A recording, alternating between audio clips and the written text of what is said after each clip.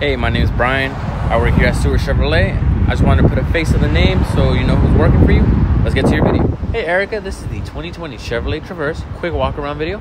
Silver ice exterior, super clean. This is Chevrolet's full size SUV crossover. Some nice dark tints in the back.